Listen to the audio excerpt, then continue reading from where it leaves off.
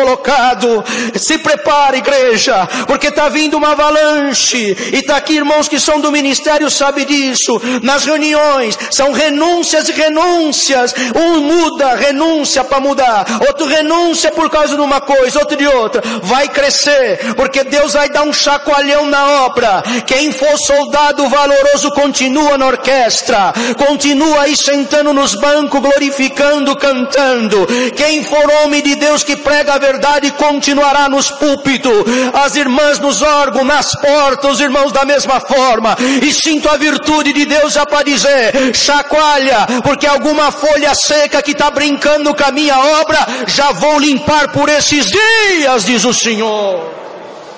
Só dá glória a Deus quem não tem medo, porque quem tem medo não é para dar glória mesmo, porque fala a glória da boca para fora, bendito é o Senhor, é brincar com o Espírito Santo que sonda mente e coração.